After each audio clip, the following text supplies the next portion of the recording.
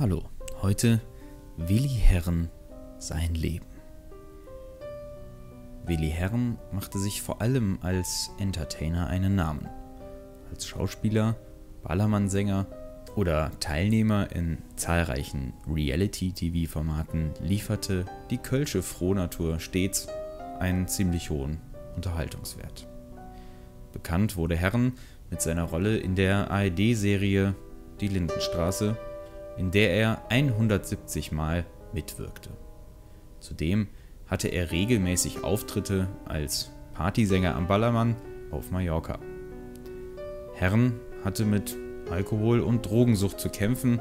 2008 ließ er sich bei seinem Entzug von TV-Kameras begleiten. Erst im März hatten Willi Herren und seine Frau Jasmin ihre Trennung bekannt gegeben. Er hinterlässt außerdem einen 27-jährigen Sohn sowie dessen einige Jahre jüngere Tochter Alessia. In den letzten Jahren nahm er zudem an zahlreichen Reality-TV-Formaten teil. 2004 war er Teil der zweiten Dschungelcamp-Staffel auf RTL und wurde dort auch Dritter. Ebenfalls den dritten Platz belegte er beim Promi Big Brother im Jahr 2017.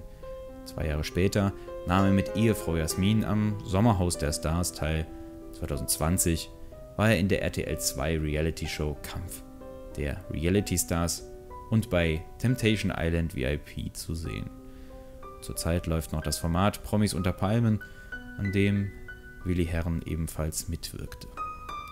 Vor einigen Tagen noch hatte Willi Herren Willi Herrens Reifkuchenboot, einem mobilen Reibekuchenstand, präsentiert mit dem Foodtruck wollte er seine finanziellen Einbußen als Partysänger ausgleichen.